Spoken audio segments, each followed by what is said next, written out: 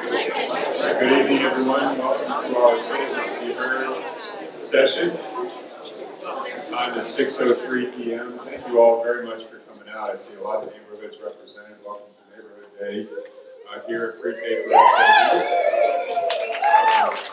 We have lots of neighborhood pride. That's wonderful.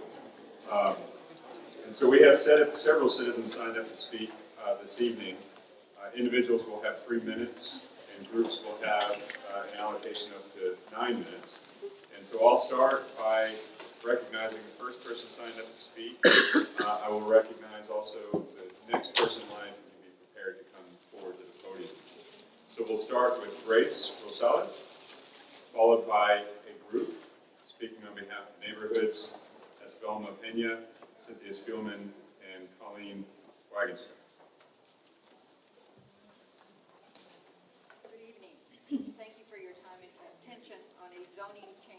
Request for a historic landmark designation scheduled for your consideration tomorrow. Closer to the mic. It is agenda item C7. Microphone. No, it's off. Microphone.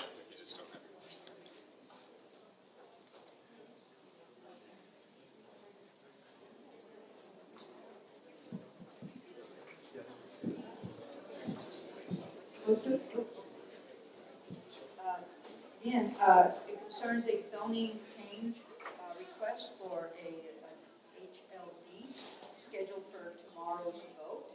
Uh, it is agenda item Z number uh, number Z7. Uh, the subject home is 1622 West Wasatch. It's District 1. I live at 1623 uh, West Wasatch.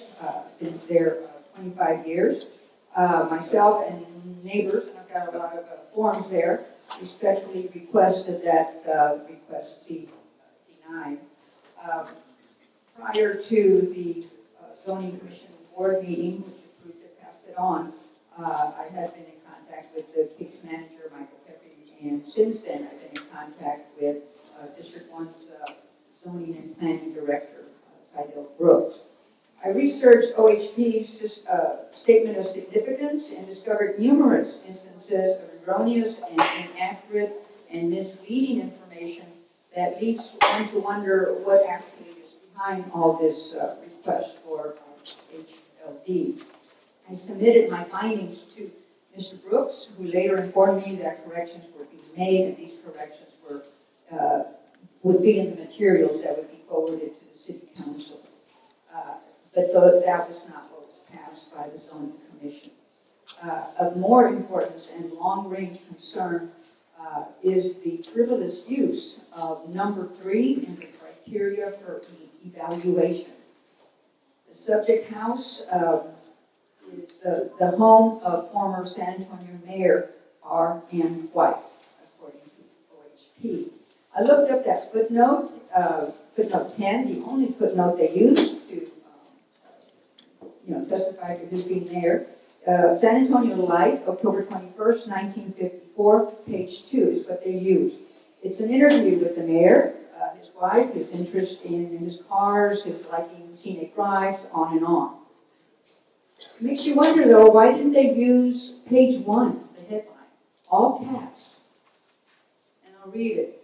Uh, White Sr., third mayor of 1954, replaces his son on council.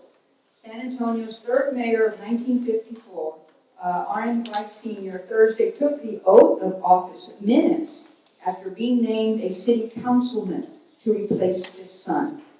His son, R.M. White Jr., resigned rather than to face a recall election.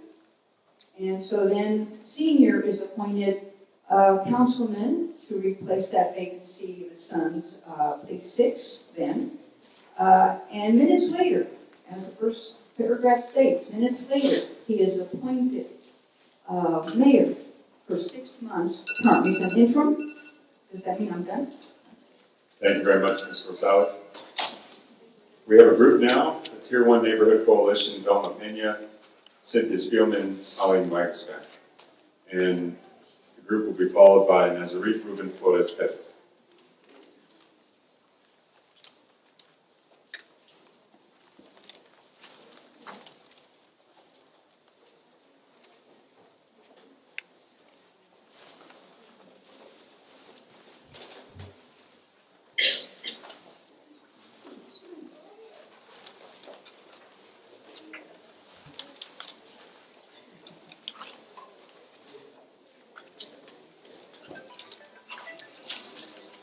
Good evening.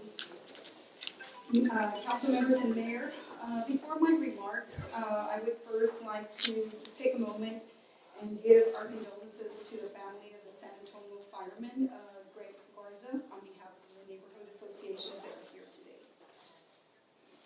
My name is Velma Peña from District Five. Today, neighborhoods throughout the city welcome you to the new council year. What we share is that we believe that people who live in San Antonio neighborhoods should have a voice in the decisions made about our neighborhoods and communities. We have a right to make informed choices as we face the challenges of the future. We are here to remind you that we are your constituents, we are your voters. Tier 1 Neighborhood Coalition and neighborhood coalitions and allies across the city stand together.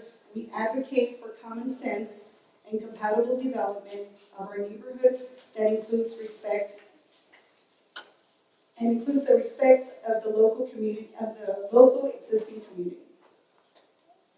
That's it. Thank you. Thank you.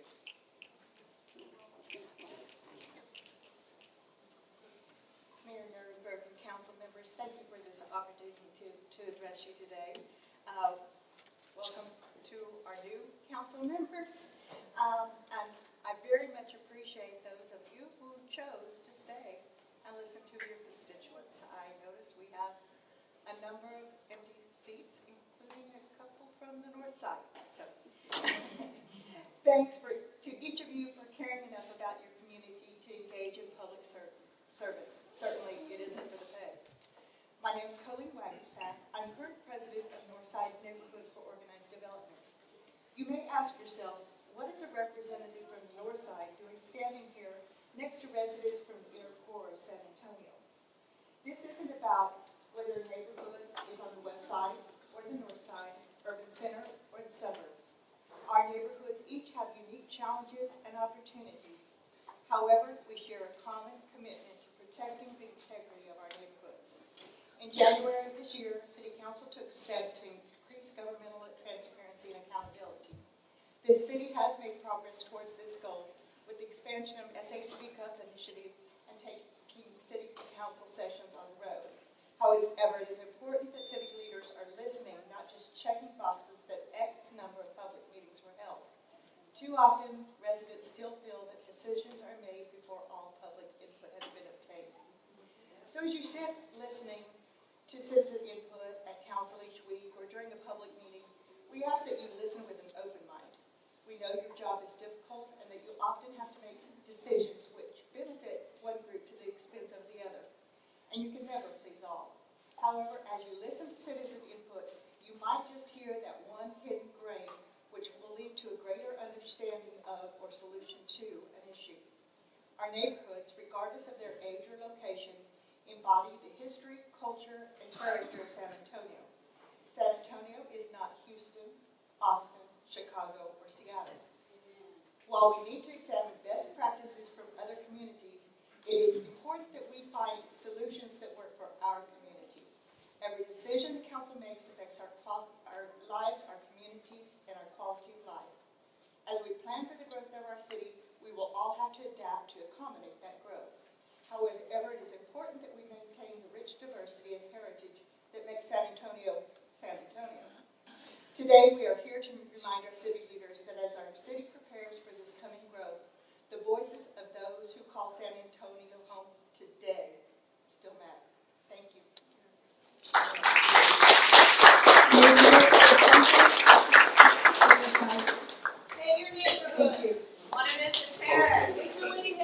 Climate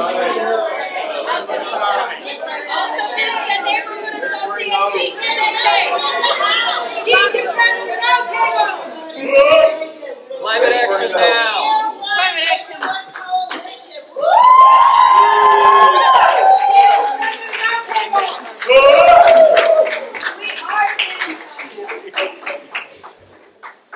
All right, thank you all very much. Nazarene Ruben Flores Pettis. Mr. Pettis here. Okay, uh, Tim Barr. Mr. Barr, you'll be followed by Peter Bell.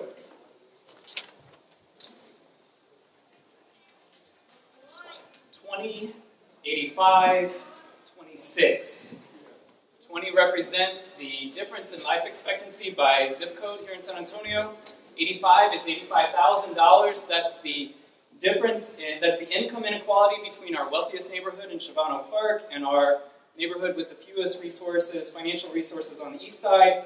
26 is percentage point difference in uh, adults, uh, white adults, and Latinx adults in terms of having a high school diploma here in San Antonio. These disparities are not new, you're familiar with them, but the reason I point them out is because they require planning, they require policy, and they require good leadership. They won't fix themselves. They require the kind of leadership that you showed recently in passing the paid sick time ordinance. Thank you. They require the kind of leadership that you've shown in tackling affordable housing, and they require the kind of leadership that I hope you will demonstrate tomorrow as you pass the Climate Action Adaptation Plan. The, the thing I want to point out about that, though, is that tomorrow is not championship day. There will be no trophies passed out, not even any participation medals, because the real work is still ahead of us. Tomorrow kicks off the beginning of the implement implementation process, hopefully, if it is, if it is passed, when more of your leadership will be required, because these are long-term challenges that require long-term thinking and vision, and they require your vision, and they require your courage, most of all. Courage because we know that CPS Energy needs more democracy. To continue to think that we can burn coal for another 40 years is not acceptable. Courage because we know that equity has been included in the plan, but needs to really truly be at the heart of the plan. It requires a shift in power and decision making. It requires us to think not only about who benefits, but who is burdened, and to make sure there is equity there. This kind of courage does not necessarily build your donor base, but I don't think that's why you got into politics to begin with. So, tomorrow, and in the days and months and years to come, I encourage you, ask you, beg you to be courageous in your leadership to ensure that all residents of our city can reach their full potential regardless of their race, regardless of their neighborhood, regardless of their income or education level by passing the cap. Thank you. Thank you, Mr. Barr. Bella, followed by Melissa. Mr. Mayor, Council, thank you so much for the opportunity to speak with you. My name is Pete Bella, and uh, what Tim said, I will follow up with on the other half. He spoke well in terms of his requests to council and the need for the passing of the Climate Action Adaptation Plan. I'm on the side of the Climate Ad- Action Adaptation Plan that says we appreciate it, we want to support it, we know that it needs to be passed, and we'll be pushing to make sure that it's as stringent and as forward-thinking as it needs to be.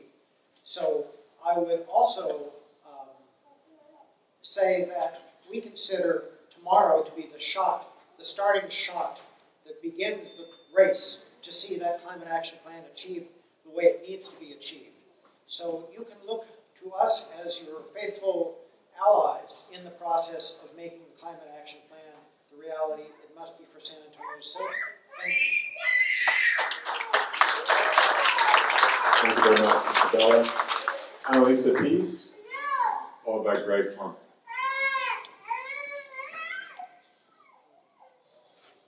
Thank you for this opportunity. I'm speaking for Annalisa Peace. I'm. What, I'm sorry, what's your name, ma'am? You, you do have to be present, uh, you don't have to be signed up to, in order to speak.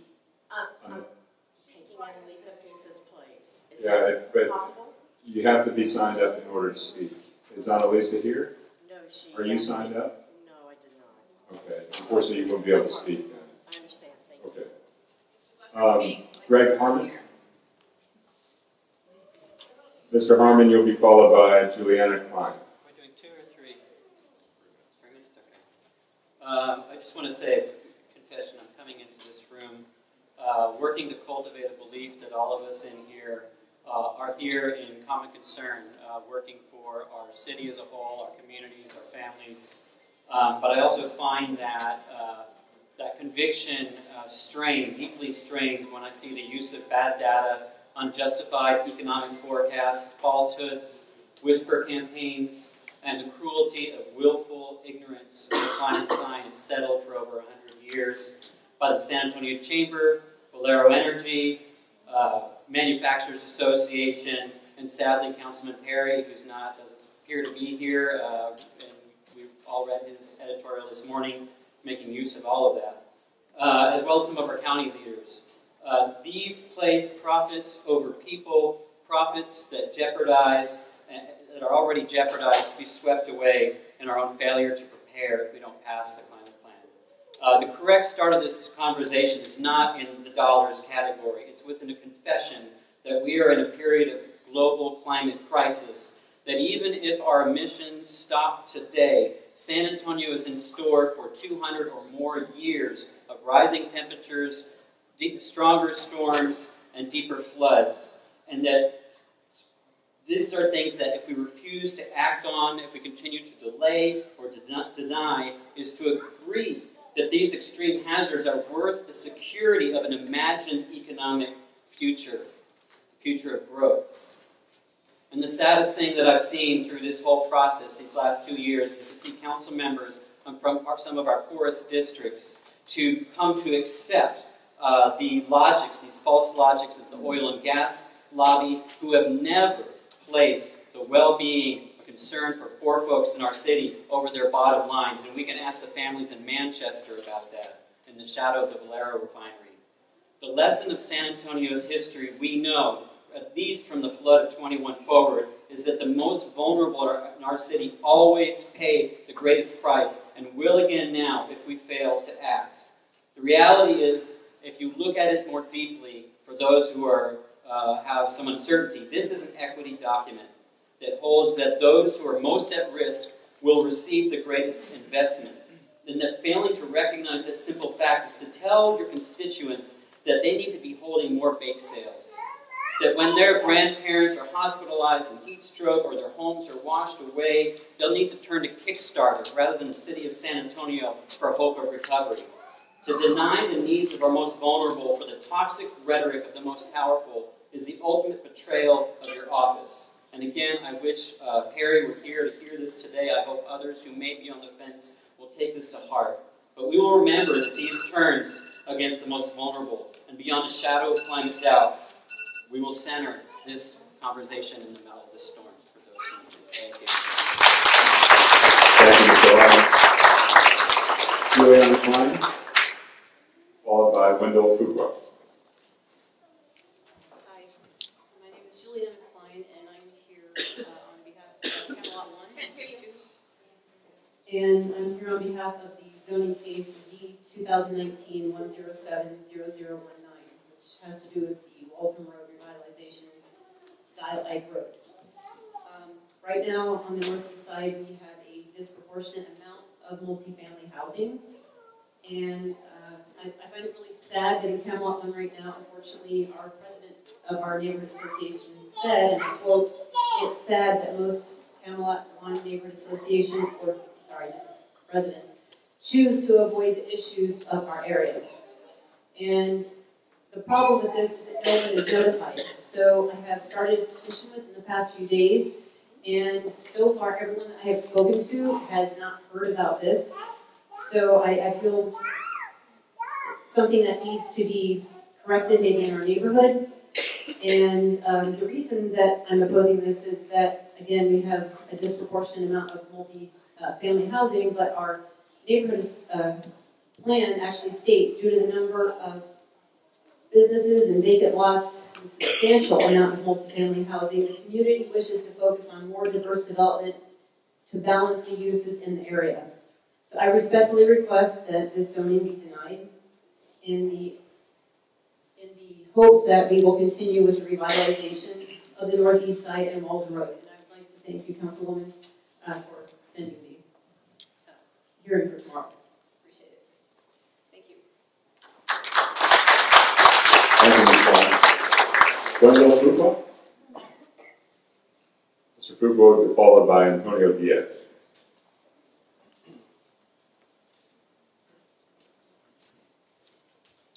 My name is Wendell Fuqua. I live in District 1 in Monte Vista, and I'm a member of the Sierra Club. When this country entered World War II, it entered a battle for its survival. It tooled up for this battle in a matter of months. Pontiac made anti-aircraft guns. Cadillac turned out light tanks. All over America, we mobilized for war. We need to do that again in the face of climate change. I applaud our city leaders for being on the brink of passing a climate action and adaptation plan, or CAP, but I caution that the CAP is only an outline. It's only as good as our mobilization effort one of the key players in our plan, City Public Service, CPS, which used to be a visionary utility, has turned timid. If it were Cadillac in World War II, it would still be building cars, not tanks. The United Nations Intergovernmental Panel on Climate Change warns that the world has 10 years to cut its CO2 emissions by 45%, on the way to carbon neutrality by 2050. San Antonio is committed to that goal, but CPS, in its FlexPath plan, contemplates burning coal and gas possibly into the year 2060. That's no path to carbon neutrality. Many cities and states have far more ambitious plans. California has committed to generating 60% of its energy from renewables by 2030 and 100% by 2045. Austin plans to have 65% renewables by 2027. And renewables are cost competitive. A respected power evaluation company said in a recent report, replacing the coal plants with a portfolio of non-emitting resources would likely save money for CPS ratepayers. Our coal and gas plants produce 48% of San Antonio's emissions. Shut them down, and we meet our goal of reducing emissions by 45% by 2030. And there's a bonus to closing the coal plants, our health. Particulates from burning coal contribute substantially to cases of asthma, heart problems, and pulmonary problems, especially among the young and the old and the poor. but put simply, coal kills. If we shut down our coal plants, we improve public health. Unlike Cadillac or Pontiac, companies that switched overnight to making tanks and anti-aircraft guns, CPS already knows how to make pollution-free electricity. CPS now needs to mobilize for a more visionary plan to stop burning coal and gas. Just like World War II, it's a matter of our survival. Thank you.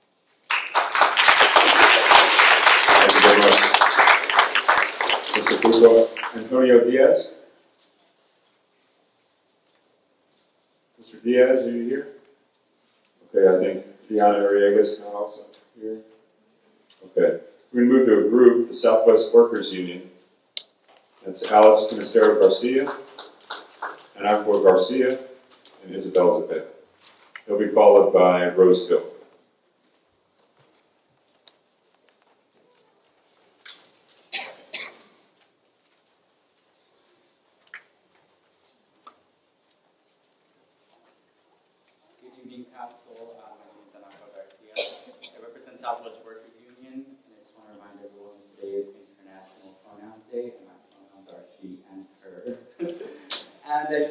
start off by letting you all know that we led a campaign to collect petitions for the Climate Action Plan, and I just wanted to give a report back. Um, we spent uh, countless of hours block walking and phone banking neighborhoods all over your district, all over the 10 districts, and we collected 2,041 signatures, and I will read them individually by district. We got 24 for District 1, 512 for District 2, 60 for 3, 530 for 4. District 5 got us 228. District 6, 168. District 7, 10. District 8, 124. District 9, 11. And District 10, 10. And I just want to remind council that all of these folks are registered to vote. And I will pass it along to Alice. Thank you. Um, I'm going to be following up a little bit on what Mr. Fuqua said regarding Coal Hills. Uh, I'm sorry. Terry's not here because um, this is sort of a message for him. We know that um, our mother, planet Earth, will be fine no matter what we humans do. Let's, let's pass the climate action and adaptation plan anyway. Passing CAP is a step forward in the process to lessen respiratory illness let's pass the climate action adaptation plan. The plan will also reduce the number of people who die prematurely every year here in San Antonio, 52 a year, because of our poor air quality. So let's pass the climate action and adaptation plan. This message is intended to inspire those who might need a reason to vote yes. You may have heard that the very young and the elderly are most at risk from the cold in the air, which leads to asthma and even lung, lung cancer. So let's pass the climate action and adaptation plan. I'll take that with me too. It will improve the quality of life and could even stop human extinction. So let's pass the climate action and adaptation plan. Thank you. Isabel. Buenas noches, good evening. My name is Isabel Cepeda, and currently I'm five months pregnant. As I grow the seed inside of me, I question whether San Antonio is a healthy and safe space for my baby to grow in. I recognize this comes with privilege, to be able to even think of moving away from pollution. It's not something everyone can, and it's not something anyone should be forced to do. But let's not only think about babies and children, what about our elders, adults, youth, the water, plants, and animals in San Antonio? I also ask you to think about those folks that have been here for thousands of years, like our Native American, the Native American community of San Antonio. How will your vote tomorrow honor their health? How will your vote tomorrow honor, honor the health of all of the families in San Antonio? How will your vote honor your own family's health here in San Antonio? How will your vote honor the earth? What kind of legacy will you leave? One that prioritizes money, businesses, and extractive companies, or one that honors life, earth, and community? Please.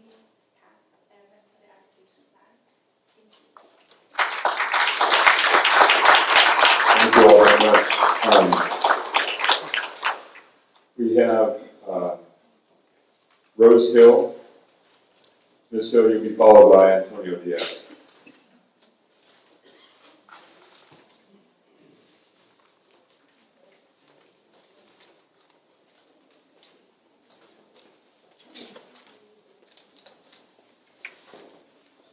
Mr. Mayor, since we're going as a group, um, I'm, I'm gonna, there's three, three minutes that I speak and then the other person three minutes, would that be okay? And they're- They give us their time. Okay, uh, Ms. Hill, you're, you're signed up individually.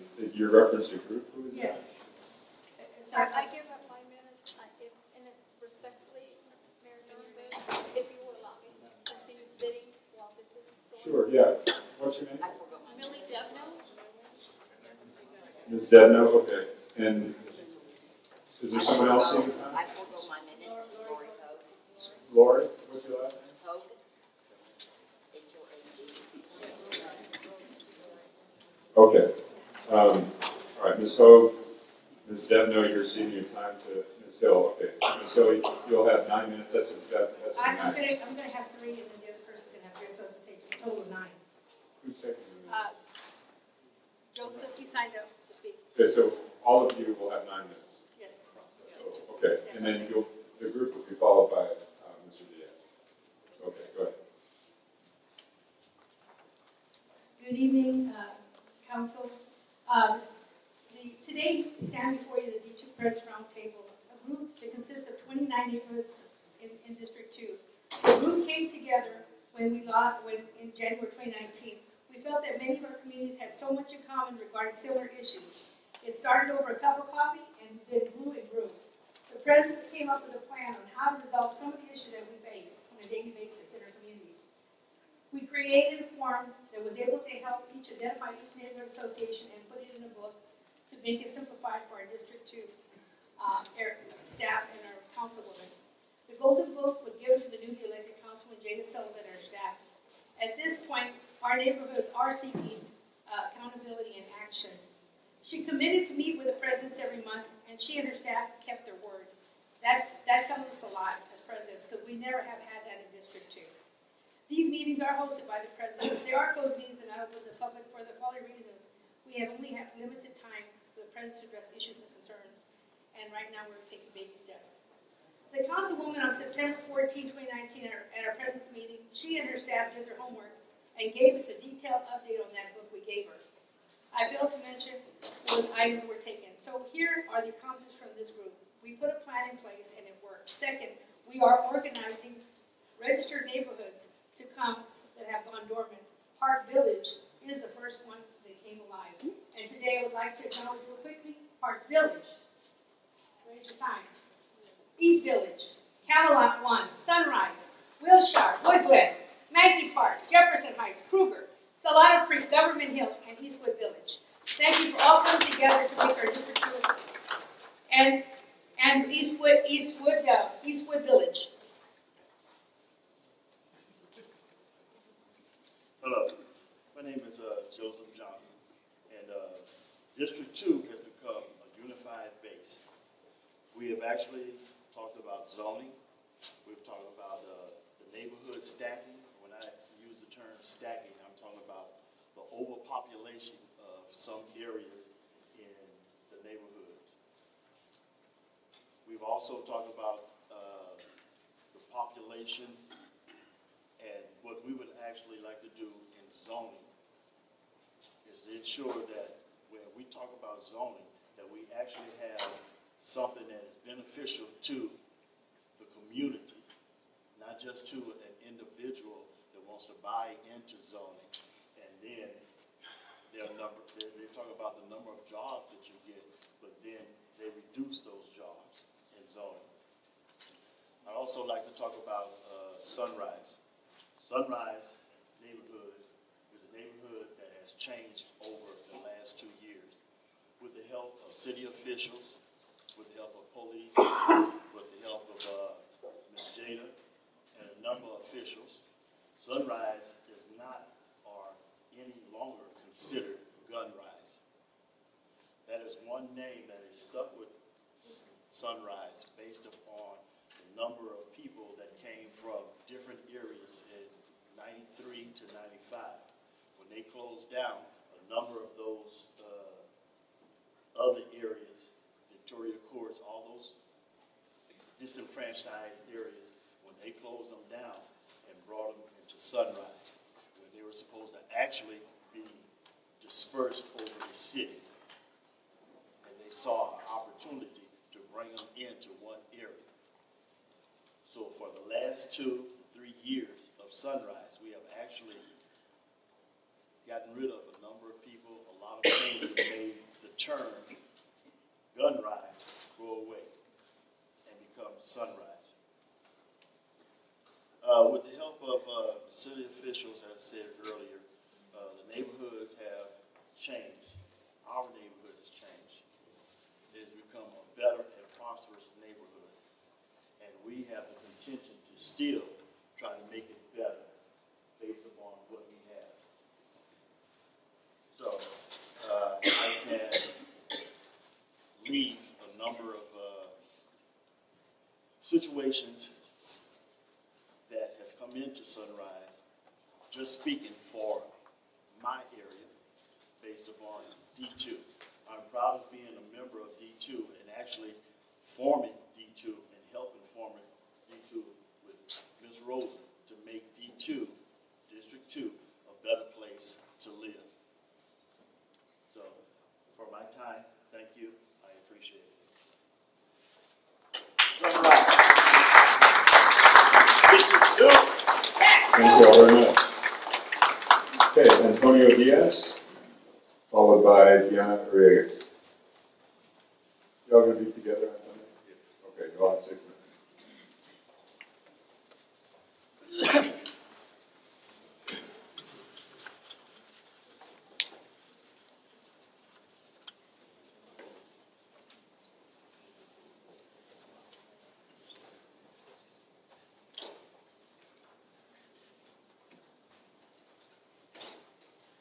Juanito Nani. Uh, it's good to see all these people.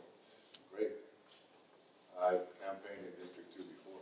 Listening to all the neighborhoods. It's very good.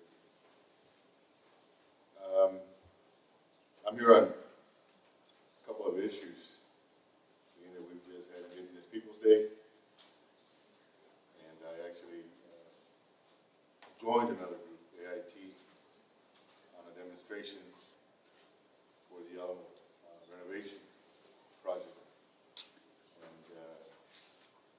not, is not a good deal as far as our constitutional rights, and freedom of speech, and freedom to petition our government. Those, those things are being impacted by this renovations, the uh, leasing by the GLO of certain buildings, the front of the, what used to be the Alamo uh, Plaza public area. is Very limited as to where one can actually petition our, our local government now because of the GLO. And I was actually on the phone with uh, the GLO today, with uh, several of the uh, employees, staff, that couldn't really give me any answers to my questions as far as loss of our First Amendment rights. But I will continue to pursue that issue. It seems to be the only, the only outlet for us, because as I explained to the, the one gentleman I spoke to, who had the most time, is that, uh, Texas pursuing the, its policies of extermination of Native Americans, uh, when it was a republic, continued with those policies when it became a state under the United States. And, and so there's no change. None of us are recognized as Native Americans. We, we're Mexicans, Hispanics, or Latinos, but not indigenous. So we, we cannot uh, protect burial sites. We cannot speak out at places that were our ancestral gathering places for thousands of years. Now we're restricted by government that does not recognize us as native. So these, these uh, topics, this dialogue has to expand within, again, our municipal government, our state.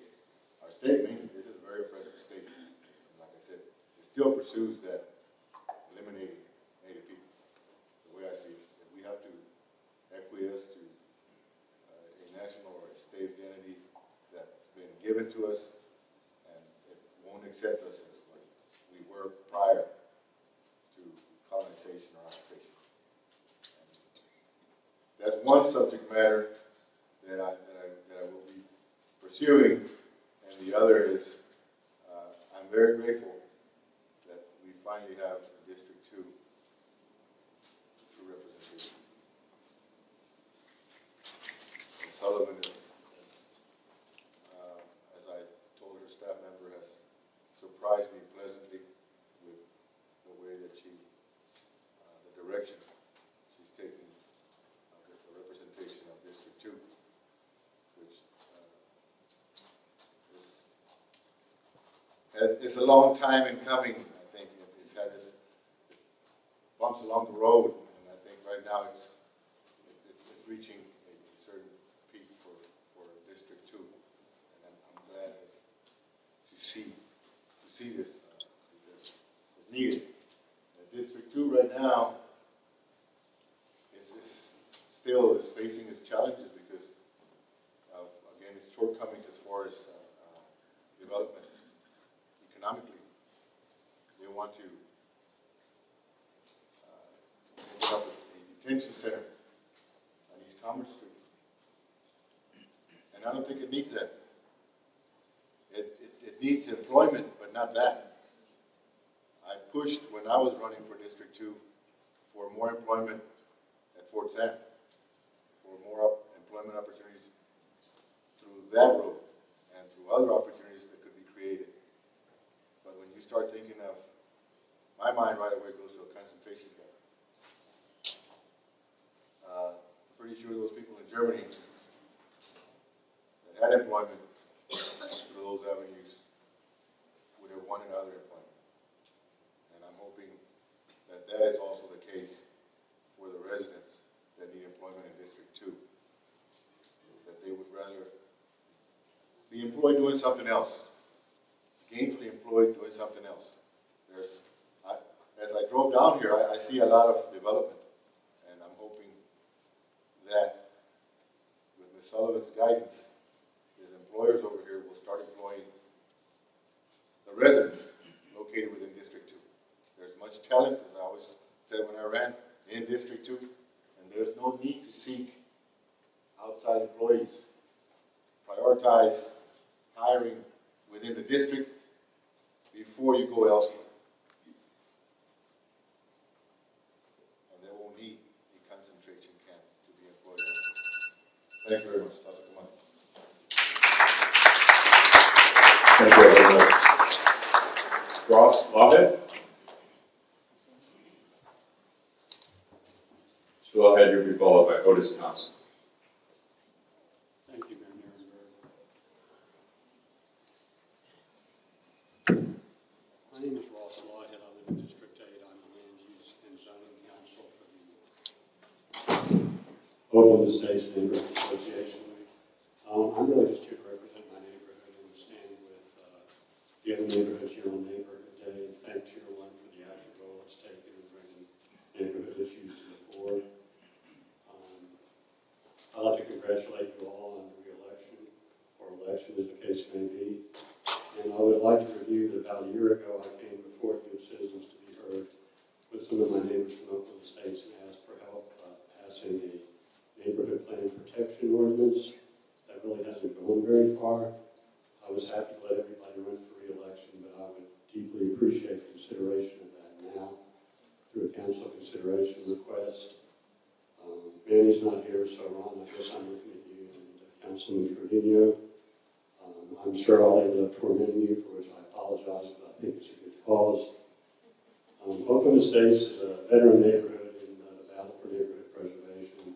We've been at it really since we were annexed in 1974, because we've been outside the loop since 26.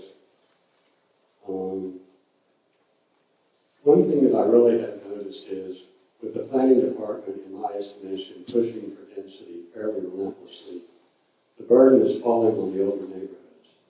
This is partly because they probably want density closer to the central urban core, uh, but it's also because most neighborhoods developed since 1970 uh, are primarily gated and they all have very powerful restrictive covenants so that they really can't be invaded with density, uh, whereas the others of us can. So we would appreciate uh, consideration of that ordinance, and I would like to thank uh, Mr. Sanchez, uh, who has been instrumental in, I'll say, keeping neighborhood plans alive, uh, pending the activities of the planning department, uh, but we really would like that to be addressed. Thank you very much. Thank you, Mr. Lawhead. Otis Thompson, followed by a group, the Historic West Side Resident Association, that's Terry Castillo, Natalie Guerrero, and Leticia Sanchez. Good evening, everyone. Uh, I'm Elder Otis Thompson. I am the Republican Party of Bexar County, Precinct Chairman 4036, representing the Dellcrest community on the east side. Must also say that I am a straight, heterosexual, alpha male. My goal is to, is to develop Martin Luther King Park as an international world pilgrimage, cultural and heritage tourist destination. Like reversing the MLK March from Pittman Sullivan Park to end it at MLK Park at the Wheatley Heights Sports and Entertainment Stadium. The construction of Lake MLK is just as important. The 2005 Wheatley Heights MLK Park Master Plan illustrates the construction of Lake MLK in the area located south of Rice Road at Salado Creek. The 22 acre lake will be supplied water by Salado Creek itself. Lake MLK is expected to be a focal point of the community for outdoor recreation. Funding is now available through the voter approved $80 million 2015 hotel hotel venue sales tax. And with that, I ask your support to build Lake MLK. Thank you very much. After that. Thank you, Mr. Thompson. For Historic West Side Resident Association. Okay. Terry Castillo, Natalie Guerrero, and Leticia Sanchez. They'll be followed by Richard Garcia.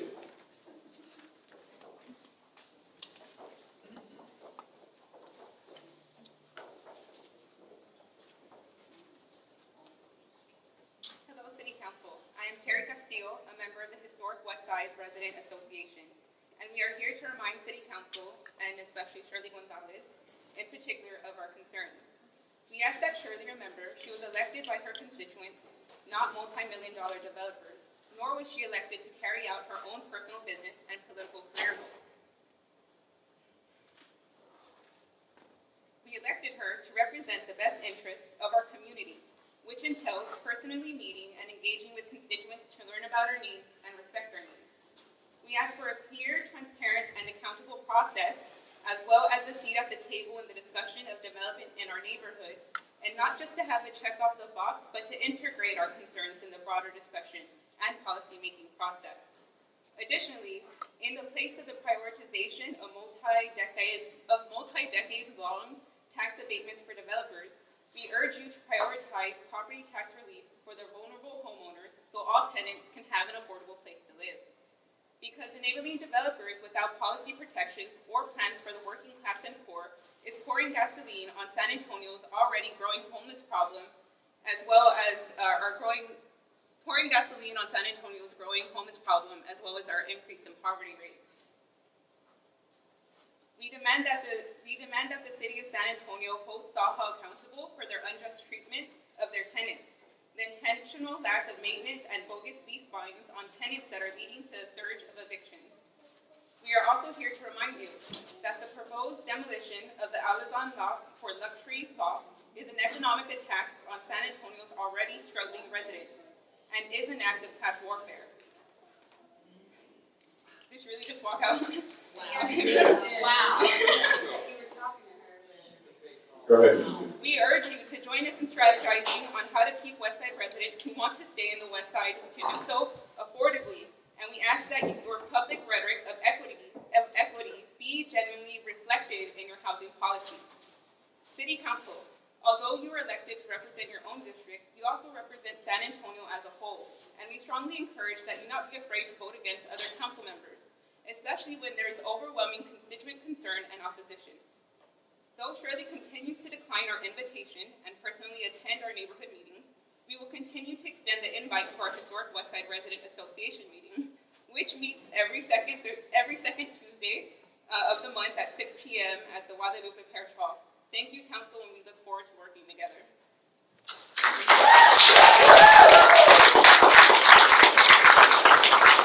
Richard Garcia. Richard Garcia. Bernard Sanchez. I'm giving my time to Judith Vega. Oh, Mr. Garcia? Okay, go ahead. You'll have three minutes. You'll be followed by um, Mr. Sanchez. Who are you receiving your time for? Ms. Vega? I don't see you on the list. Do you want to take your time, Mr. Sanchez? You can think about that as Mr. Garcia speaks. Uh, Good evening, council members, uh, mayor. Good evening, my name is Richard Garcia, president of the Memorial Heights Neighborhood Association. First of all, and foremost, I want to just uh, condolences to the uh, fallen, uh, fallen hero first founder, Mr. Garza. You know, thoughts and prayers are with him.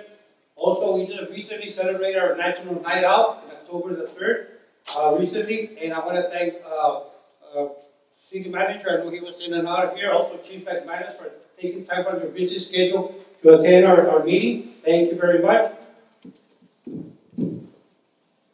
Also, I wanted, to mention that, uh, uh, that the reason that we're in existence, Memorial Heights, is for three reasons, and three reasons only. We advocate, advocate, advocate for our neighborhood association.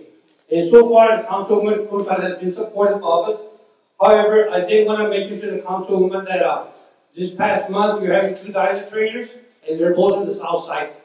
Uh, I think one is Quintana and one is Roosevelt, so it would be helpful if we had some in the west side, Almondale Park, uh, Roosevelt Park. Uh, please don't, you know, we can have some Baptist church in our area. The second one is like we cordially invite you to our next meeting, uh, our neighborhood meeting, which is going to be Thursday, November the 7th at the Memorial Heights neighborhood, at the uh, Memorial Branch Public Library. Uh, we would like to, uh, for you to attend our meetings if you, if you can, possibly can. And also, uh, just wanted just to let you all know that we're proud members of the West Side Neighborhood Association Coalition and also of Tier 1. And again, we will keep advocating and advocating for our neighborhood in the best interest. Thank you very much and have a nice evening.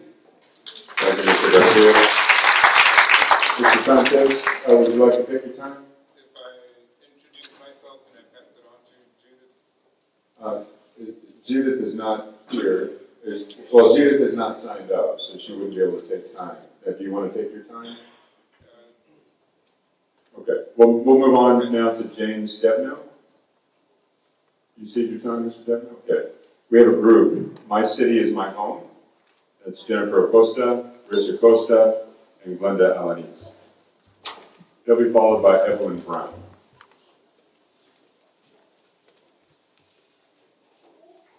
Hello, again, uh, Rich Acosta, President of Mi Ciudad es Mi Casa, My City is My Home. Uh, in case you don't know who we are, uh, My City is My Home is a nonprofit organization. Our mission is to educate, support homeowners and renters to increase their housing choices. We receive no city funding, state funding, or federal funding. One of our services is helping homeowners be able to afford to keep their homes by helping them protest their property taxes for free. This year, we saved over $3 million in lower value, tax values and helped home, homeowners in every single one of your districts. Uh, joining me here are some of our superhero realtors using their special abilities to help out their community. And uh, we are here trying to keep our neighborhoods together and not be taxed out of their homes. Um, I wanted to share with you some data I collected for a separate projects. So remember these numbers because you're going to be hearing them again soon. Um, this information was gathered through public record, so it's the city's record, not uh, city's data, not our data. Um, since 2012, San Antonio has invested over $90 million into luxury apartments, most if not all through tax abatements. Houston Street uh, Encore at the Riverwalk received $4 million, has a pet spa, and I don't know why they needed uh, our money for the $60 million project. Um, I love visiting the Pearl, but I'm not sure if they really needed our $8 million of our taxpayer funds in order to do that. Please think about this when you when someone says that there's not enough money to give homestead exemptions. Think about this when it's too expensive to help out the city uh, homeowners. Um, though I point out these projects, I want uh, to move on and say that we're not against developments. I don't, uh, but I don't think that that has to mean that we are wanting our taxpayer funds to be used for luxury apartments. That some of them charge over two thousand dollars for a one bedroom. Um, once more, not against developments, but against the city not taking, not thinking of homeowners when approving these large uh, developments. After speaking to city planners, city staff, and, the, and going to various presentations for large projects like the San Pedro Park Creek, the UTSA expansion, the opportunity for who zones, uh, no work has been done to ensure the homeowners in the area has their homestead exemptions. As for homestead exemptions goes, there's a multi-org uh, effort including Sacred, uh, Texas Housers, Interface San Antonio Alliance, and much more. We have found that there's over 80,000 homeowners throughout San Antonio that do that have not applied for their homestead exemptions. Um, these exemptions they qualify for. Uh, this includes veterans and senior citizens that do not have these exemptions. We are now uh, visiting these vulnerable areas and giving them these exemption forms personally. This is an issue on every side of San Antonio. Um, through our mapping, it's throughout uh, homestead exemptions that homeowners haven't applied for is preferred in the north side as the west side, south side, and so on. Um, I've, uh, I, um, sorry about that. Um, this is an issue on every side of San Antonio. We, uh, why not use just a small part of those millions of dollars to ensure that the homeowners in the areas of the new development has their exemptions? Um, I recently asked this of the Saha Alazan Lofts project. Uh, have they reached out in some way to ensure the homeowners are protected from indirect increase of their property tax valuations and ensuring that they have their homestead exemption. The Saha staffer at the presentation said that that's up to the council member to do.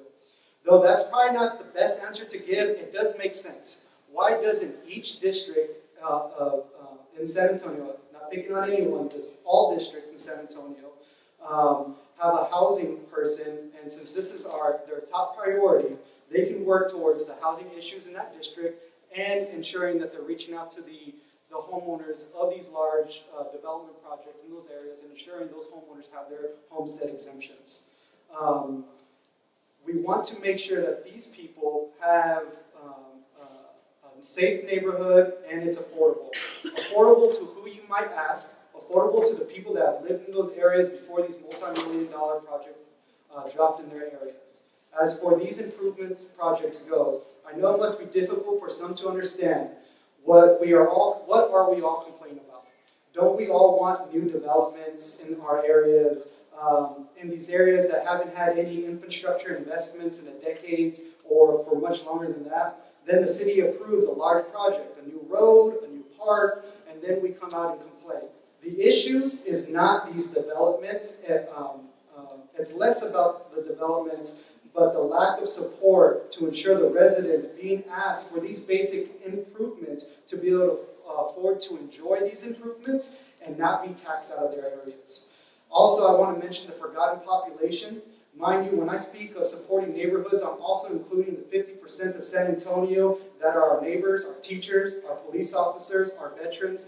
They are, are your, uh, they are our and your renters, right? They are also a part of neighborhoods. Remember that remember that and ask how are you helping them. Currently, if you're a renter living in, in a, a home in an area, town, uh, for five years or a decade, they and their landlord gets no help with property taxes. So a law-abiding, ethical landlord with no choice but to raise their rents because their property taxes are raising. Some, rent, uh, some people say renters don't pay property taxes. I say they're correct, and this is only true if they are renting a luxury apartment that the city gave a 15-year tax abatement to. In the future, I hope that you can think about this and support renters and neighborhoods. Um, so please treat neighborhoods as you would treat luxury apartment developers. Thank you, Alderman. Alderman Brown. Ms. Brown, you be followed by Charles Peterson.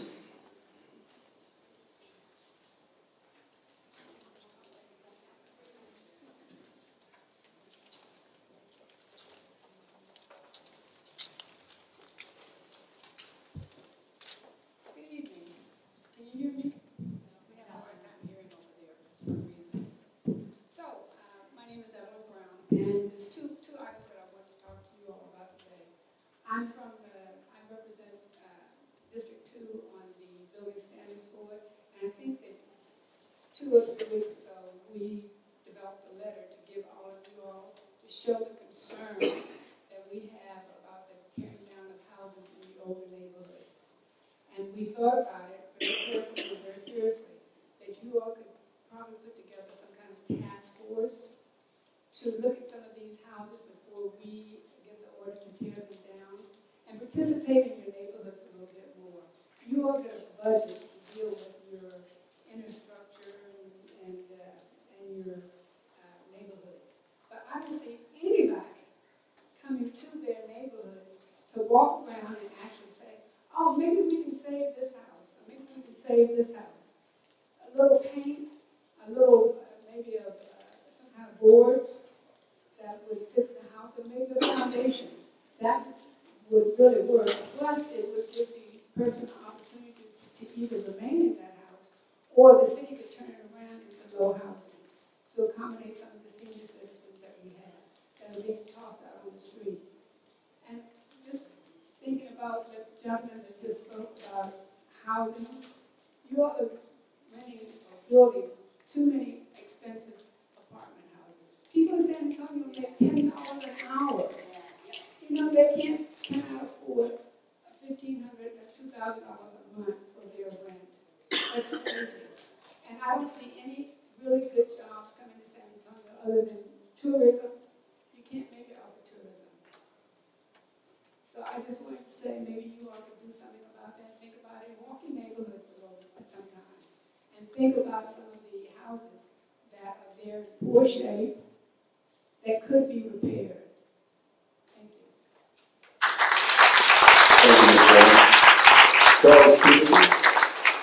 Mr. Peterson, you'll be followed by Johnny Harris.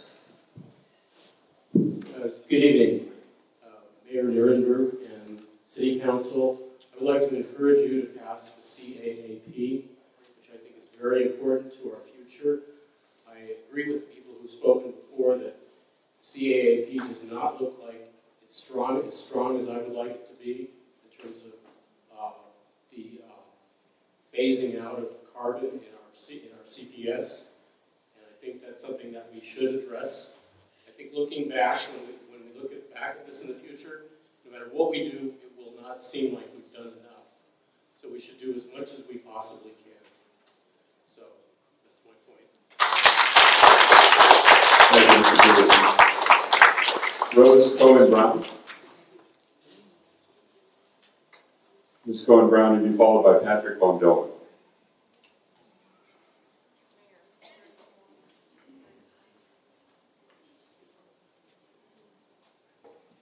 Thank you for staying and listening. Um, I live in Beacon Hill, which is in District One, and I write a column for our local new, neighborhood newsletter. And um, I've recently turned my attention to um, services for the elderly, and have run into a lot of frustrating things when I did that. Um, we have only four um, adult senior centers, um, full service senior centers, which would be fine if there were transportation. But there is no transportation provided to these senior centers, which then shuts out a lot of our senior population.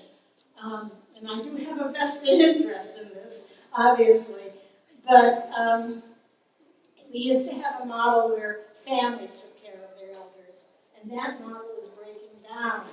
Don't think we're looking enough at what we can do because of that. Then I turn to looking at the um, meal, the free meals for seniors. And there is a list of the um, places where they're provided.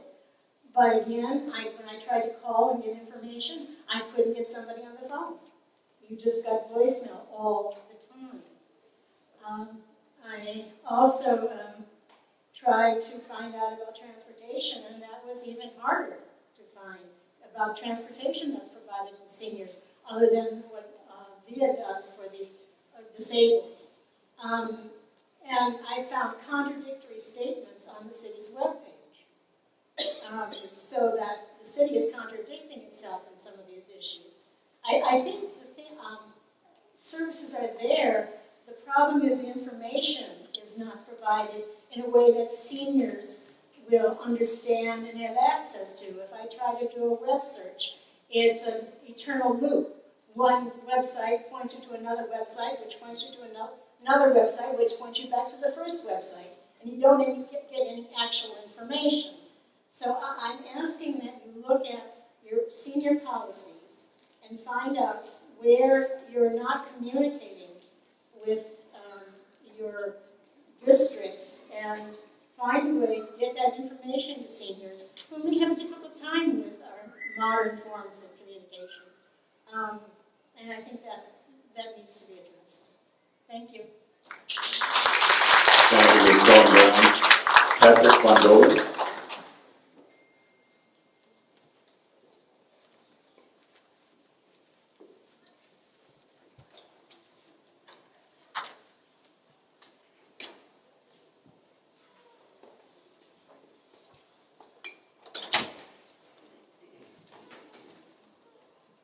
Good afternoon. Appreciate the opportunity to uh, for citizens to be heard. It's uh, nice to be able to come over here to the East Education Center for, for SA and see what a beautiful building it is and taxpayer dollars at work. And what it's great to have a happy fall. And uh, hopefully we're going to experience some cooler temperatures and uh, we, uh, uh, as we've enjoyed a great summer and uh, some opportunity to, to enjoy the summertime heat and even in the fall. I'm here to talk to you about the San Antonio Climate Action Adaptation Plan. My name is Patrick Von Dohlen on behalf of the San Antonio Family Association and uh, hundreds of members, thousands of supporters to help educate and shine a light on the climate action adaptation plan. It will require San Antonio to go go carbon neutral by the year 2050.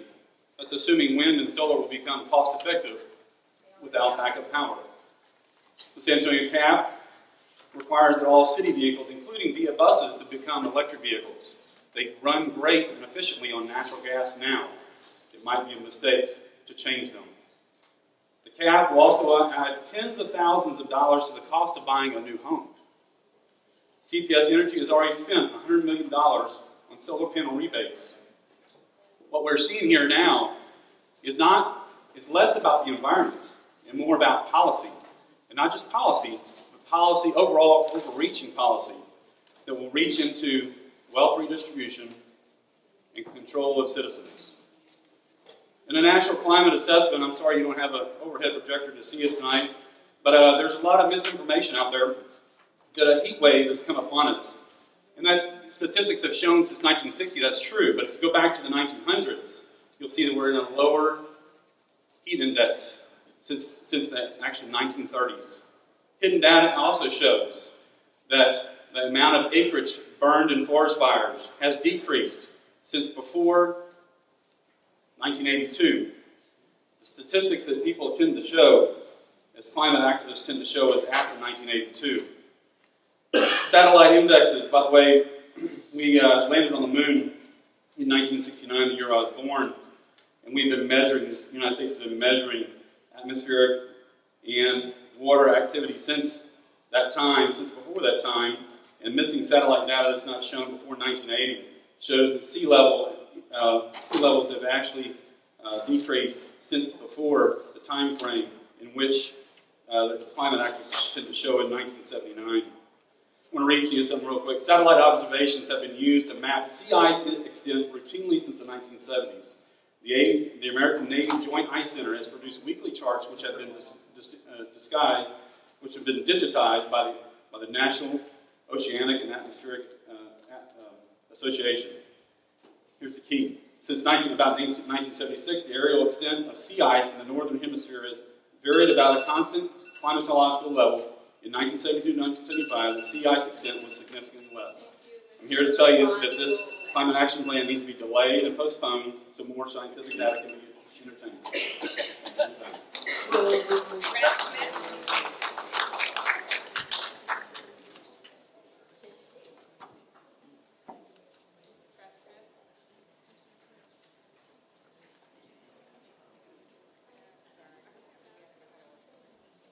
Brad Smith?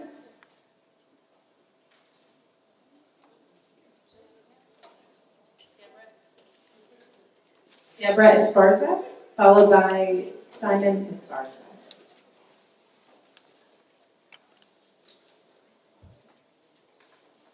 Good evening, everyone. I'm in uh, District 9, John Courage's District. And uh, I took time to come out here tonight. So if you guys could just get off your phones on council. Hello? Yeah. We elected you, or most, not all.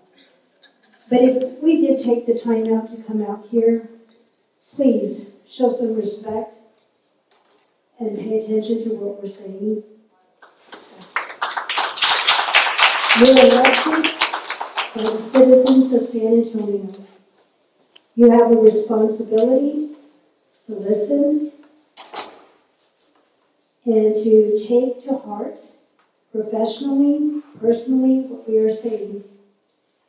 I am born and raised in San Antonio. I serve on the board of Whispering Oaks Homeowners Association, and I work full time. Uh, my biggest concern that I'm not in favor of climate change. I'll make that perfectly clear. I wish that we had taken this to a vote for the citizens of San Antonio. I would like to see some ordinances passed, which would, uh, with the growing concern that we have on panhandling all over the city. We have a growing number of issues with trash on our frontage roads, our highways, and in our neighborhoods. We've got a growing issue of homeless people. There isn't a place you can go to in San Antonio at any intersection and have four or five people come at you in your car. They're coming at you from the right side, the left side, they're crossing in front of us, and it is becoming dangerous. So I believe that it's time that we step up, and I want to challenge y'all to start working together to come up with something that's going to benefit our city. We have a lot of people moving to the state, a lot of people moving to the city. You don't see the crews anymore out there picking up trash. TxDOT is nowhere to be found. And we've got mattresses and trash. We want to talk about climate change, but but yet we, we let all this stuff hit our drainage system and we let it sit on our properties, our highways, 35, 410, everywhere. There's mattresses, bottles, plastic, you name it. You can see it anywhere. And what's more concerning and alarming is that we've got this growing issue of panhandling and the homeless people. Thank you. Thank you, Mrs. Esparza. Simon Esparza, followed by Mailing Pantuha.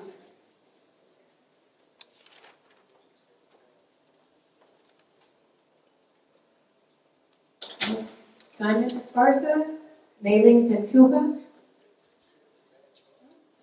I think that then concludes our citizens to be heard. Thank you, everybody,